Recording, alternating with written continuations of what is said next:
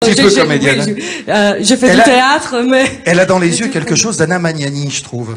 Mm. merci. Il y a quelque chose. Alors écoute, repars en Italie, reviens dans 15 ans, reviens avant quand même. je oh, vois. Ah bah oui. Dans 15 ans, je crois pas. Reviens, reviens quand même.